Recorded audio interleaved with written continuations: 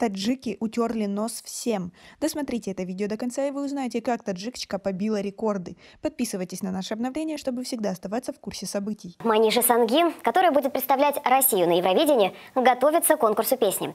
Поддерживают ее и в родном Таджикистане. Там ее семью знают и уважают. Клип уроженки Таджикистана Манижи к песне Russian Woman поставил новый рекорд среди участников международного песенного конкурса Евровидение 2021. Впервые клип на композицию Russian Woman появился на официальном YouTube-канале Евровидение 10 марта.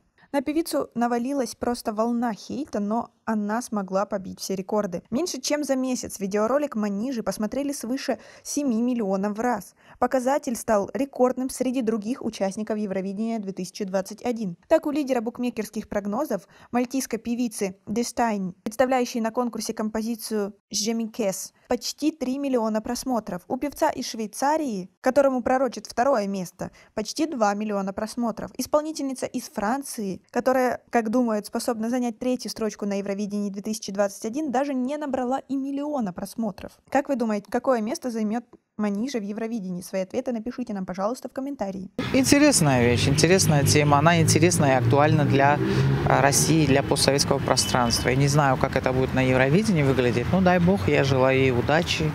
Евровидение 2021 пройдет с 18 по 22 мая на арене Ахой в Роттердаме. Некоторые россияне опубликовали петицию на портале Change.org с требованием отстранить Манижу от участия в Евровидении. Позже в СК РФ поступило заявление с просьбой проверить композицию на экстремизм. Международные букмекеры пророчат Маниже с песней Russian Woman лишь 14 место.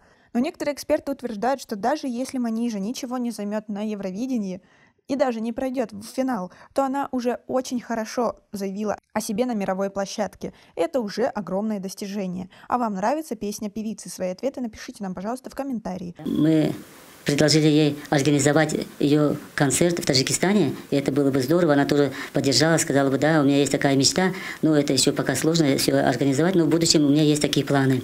У нас пока на этом все. Оцените наше видео подпиской и лайком. До скорой встречи.